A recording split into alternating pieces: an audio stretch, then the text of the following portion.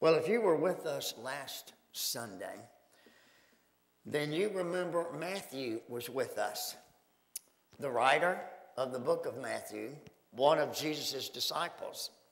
And he was giving a monologue, if you can call it that, about the last week in Jesus' life. That Holy Week. We started with Thursday, Monday, Thursday, and then we talked about everything that Jesus went through during that day in his life. And then we went through Friday until Jesus was taken down from the cross. And this morning, we're going to be looking briefly at Saturday, but then we're going to be talking more importantly about Sunday and the events of that resurrection day. So, again, Thank you. I am Matthew. Some people call me Levi. I'm glad to be with you today. And I want you to understand the things that I went through, the things that I experienced as I walked with Jesus, as I walked with those other disciples during that last week of Jesus' life. It's Saturday. They've already placed Jesus in the tomb my thought was, there's no way out. There's no way out. After Jesus' death, and he was placed there in that tomb, I'm thinking, there's no way out now. There is no way out. Well, listen, my friends, that's really how I, Matthew, that's how I felt about my life. When Jesus came to me and called me and when he said, Follow me, follow me, I thought about my life, where I was, the things that were taking place in my life. Now, why in the world would I want to follow this man who claimed to be Jesus? I mean, you need to be reminded, I was a pretty well off guy. And for who I was, I had power, and I knew the right people. I knew the important people. And that old saying, it's not what you know, it's who you know. Well, I, I knew the right people back then. Now, the other Jews, well, they despised me. They actually called me a traitor, mainly because I went to work for the Roman government. But now listen, when you are occupied by a foreign power, smartest thing to do is to cooperate with them and to go along with them. You've got to be very practical, and that's what I was trying to do. But here I was, caught in all of this, and I'm thinking, there's no way out. No way out. That's how I felt. That's how I felt about my job. Remember what my job was? I told you last week. I was a tax collector. Nobody liked me. Nobody liked tax collectors then. And it doesn't look like and sound like they like them anymore today. But after I agreed to do that, to take on that job and that responsibility, I'll be honest with you, I had all kinds of doubts whirling through my mind. I really didn't like what I was doing because there was no way out. I couldn't stop. There was no place to go. I felt like I was trapped. Now, if I quit, well, the Jews, well, the Jews really wouldn't accept me. And Lord only knows what the Romans would have done to me because they have no time for a quitter. And that's what they would have seen me to be. So you see, I felt like there's no way out. But one day, this prophet by the name of Jesus passed by my tax booth. He passed by. And wow, I knew who he was. Everybody was talking about him. He was the talk of the town. He looked right at me. I'll never forget this. He looked right at me and said, Matthew, follow me. I want you to follow me. Well, I did. I thought that was my way out. But really, why, why would I leave what I had? Even though I really didn't like what I was doing, it was a job. I had my family, I had my home, I had security. Leave all of that to follow this man in a, in a dusty robe and sandals who claimed to be the Messiah? Well, people have asked me, why in the world did you do that, Matthew? I'll tell you why I did. Because when Jesus came to me and he looked at me and he said, Follow me, I'll never forget his eyes looking into my face. And I saw that understanding and that compassion in his life like I had never seen from anyone else before. Here's a man who should have condemned me, but he didn't. He invited me, he encouraged me, he befriended me. You don't know what that meant to me. You'll have no idea. Living the kind of life I was living. When a man comes and invites me to follow him and encourages me and becomes a friend. I mean, he knew what I was like. He knew that. He knew that I was cynical. He knew that I was hard hearted. He also knew that I was a lonely man, deep down inside. Only the Lord knew how lonely I was. I just wanted to be loved. I just wanted to be accepted by somebody. I wanted somebody to appreciate me for who I was. And to be honest with you, I really needed a friend. I didn't have very many. And Jesus Christ provided a way out of the hell that I was living in, all that loneliness, that self conceit, and that self hate that I had within me. Oh, I remember that Saturday, Saturday after Jesus' crucifixion. I knew it so well. Uh, I, I'll never forget that. I remember how he promised a way out for me. But why? Why could he have not provided a way out for himself? After all, he could have called a legion of angels to come against those wicked Romans. Why didn't he overpower them like he had overpowered the demons and people that he had healed in the three years that we were together? Why didn't he put those self righteous Pharisees and priests in their place? He had done that before. Why? Why was there no way out for this man who provided such a way out for so many others in his ministry? So many losers. There were people that were absolutely nobodies, people that were sinners, including me. He provided a way out for them. Why?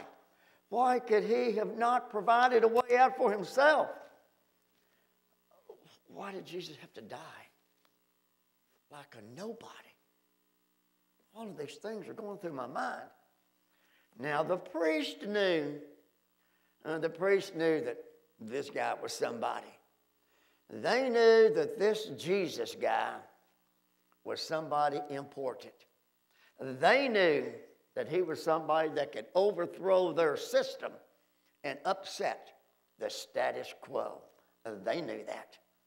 In fact, I'm convinced that's exactly why they insisted that a guard be placed right there by the tomb. Now, Pilate was tired of their games. He really was. He even told them, use your own Sanhedrin soldiers. And they did. They wanted to make sure there was no way out for this man in this tomb. Now, I was very despondent. My disciples, my fellow disciples, were very despondent when we looked at all the cruelty of a man who never hurt anybody, a man who, who, who changed the lives of so many, who healed so many, who made a difference. It was such a horrific feeling seeing our master go through what he had gone through, particularly there in the last week of his life. Then there, that seal that was put on that great big stone in front of the grave, that tomb, and a guard was placed there. And again, what was going through my mind is there's no way out. There's no way out. But then comes Sunday. That very first Sunday, Resurrection Sunday. You know the story.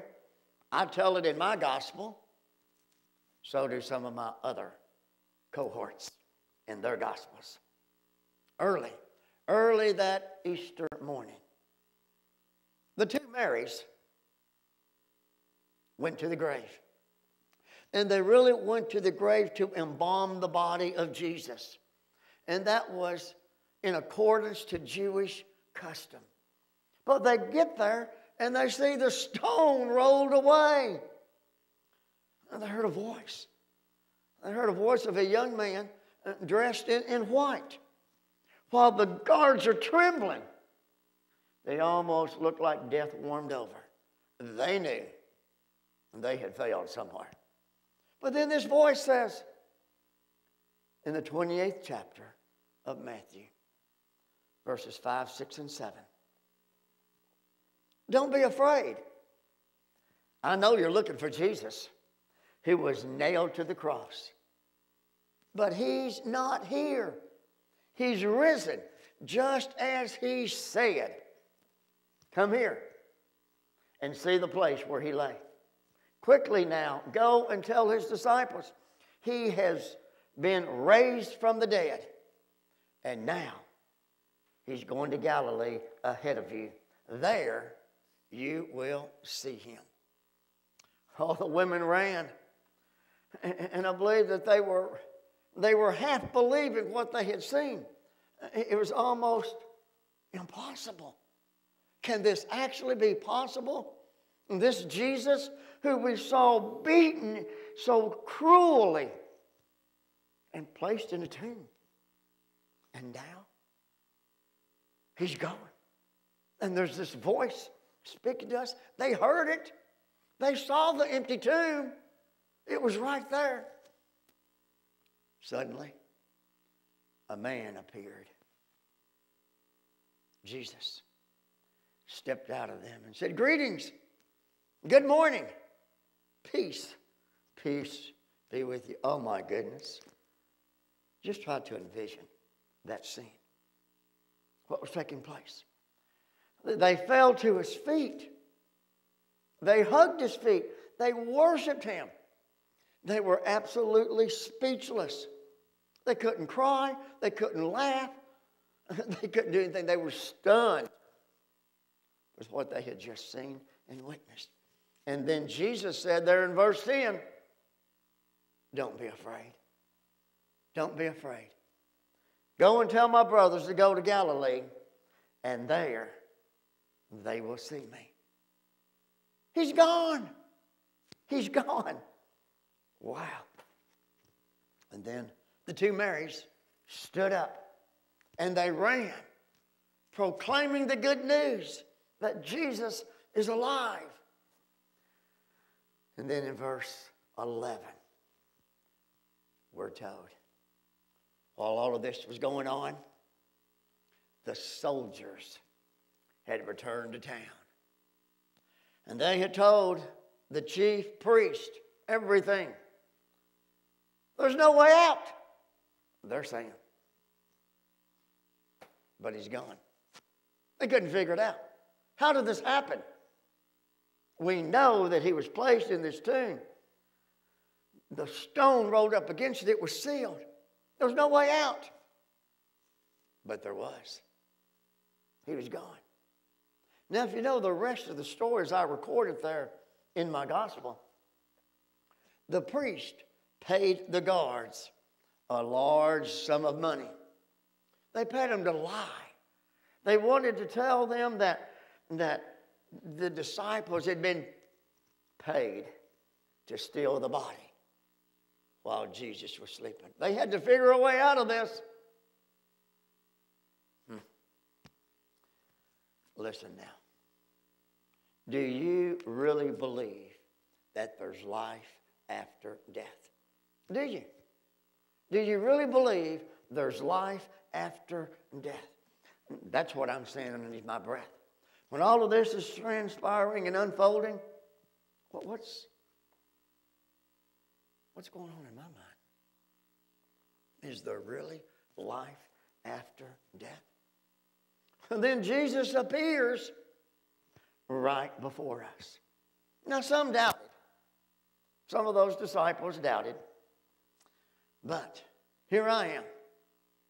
And we, as disciples, we were confronted with the Lord who had conquered death. Peace be with you. He was alive. Oh my goodness, I just could not comprehend what my eyes were seeing, how things were unfolding. And then I close out my gospel with something Jesus said. I have been given all authority in heaven and on earth. Go then to people everywhere and make them disciples, baptizing them in the name of the Father and of the Son and of the Holy Spirit, and teach them to observe, teach them to obey everything that I have commanded you.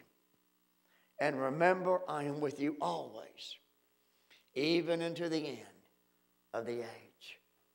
Oh my goodness. A light came on.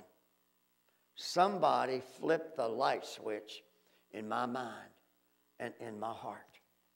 All of a sudden,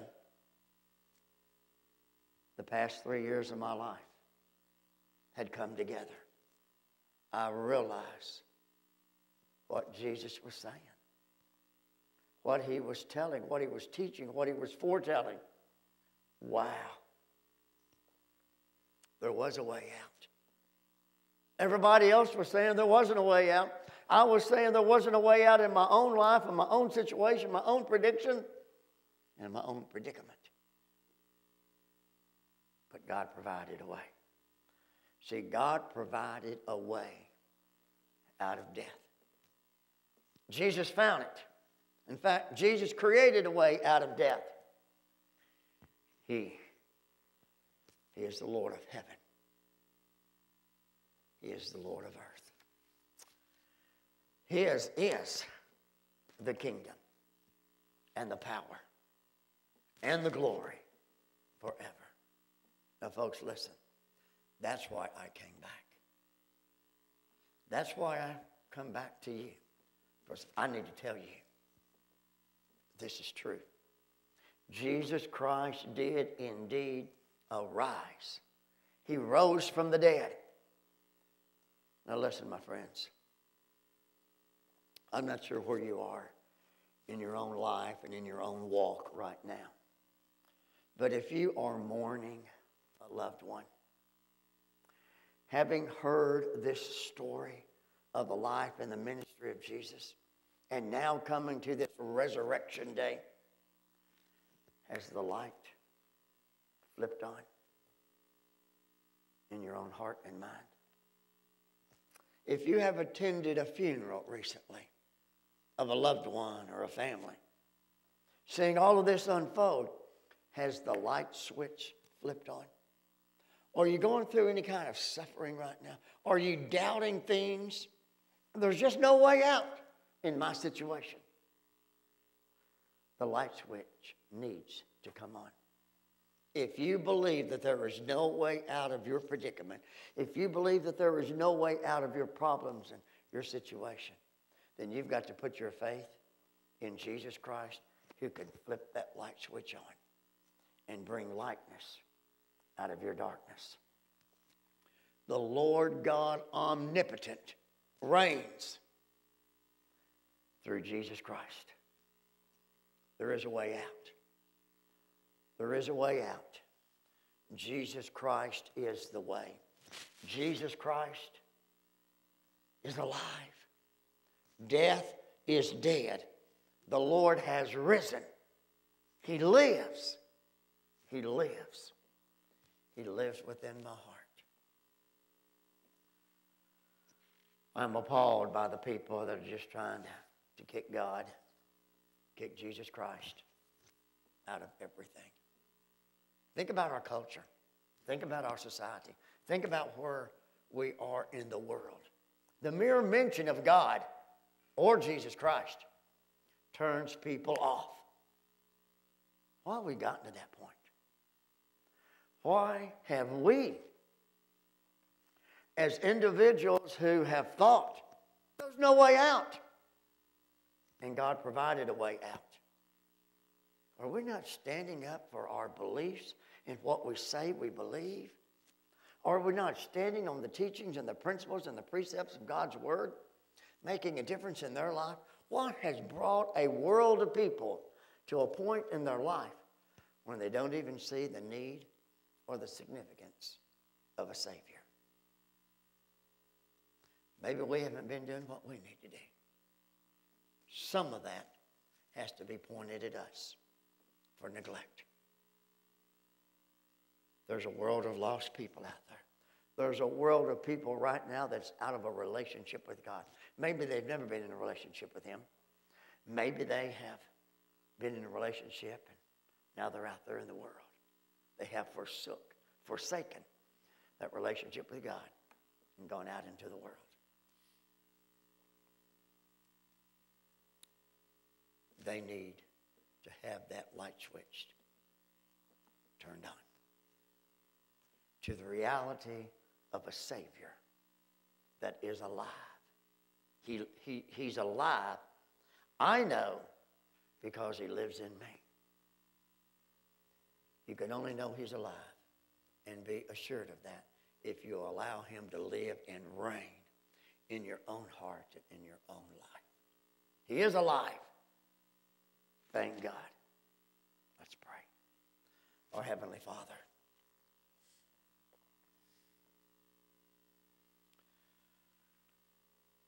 When we see the power of a loving Savior who lived and walked among us as a human, God in the flesh, God incarnate, experiencing the same fears and doubts and anxieties that, that we fear.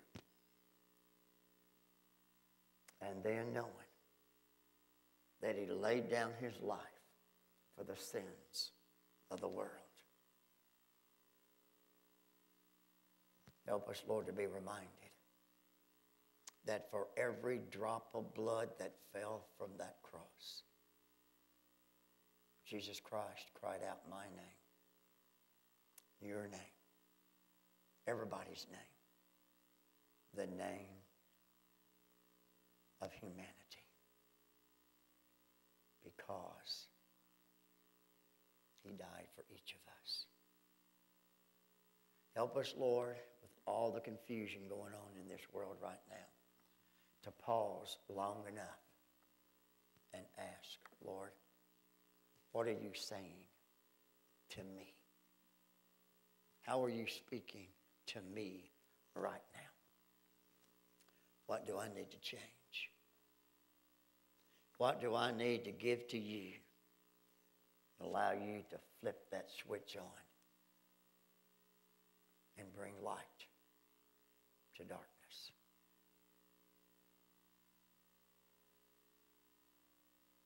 May your word penetrate our hearts through the movement and the power and the presence of the Holy Spirit in the blessed name of Jesus Christ, who died, was buried, but that's not where it ended. He was resurrected. We ask these things in the name of Jesus Christ, our risen Savior.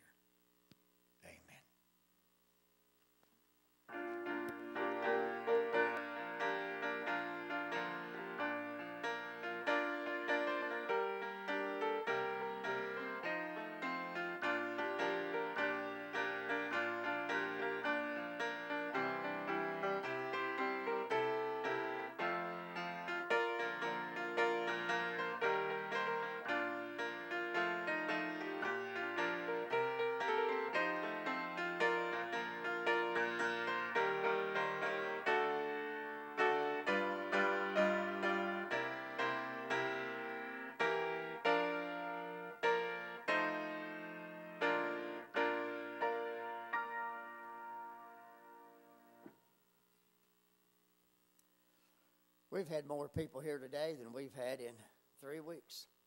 I mean, actually, living bodies. There's six of us here today. Uh, and I do want to thank Anna for working uh, with the sound. And Jesse, we couldn't do what we're doing without you and your help and your commitment. And again, I can't thank you enough. But I thank all of you all for working and doing your part in helping with the ongoing ministry at Pleasant Ridge Baptist Church. I realize that many of you all are watching now or will be watching later on through social media. I want to thank you for supporting our church, whether it be financially or prayerfully or any other means. You could right now during this hour be watching a lot of different services. A whole lot better preaching, a whole lot better services of what I can offer you here. But many of you all have chosen to support your church by tuning in, and I thank you for that. For the days and weeks ahead, for all the changes that we have out there, for all the reorganizations that we're going to have to be a part of in days and weeks ahead. Whatever the future holds, I don't know. I just know who holds the future. And I'm placing my faith and trust in Him. May the Lord bless you and keep you. May the Lord cause his face to shine upon you and be gracious unto you. May the Lord lift up his countenance upon you and give you peace. Amen. Thank you. God bless you. See you next week.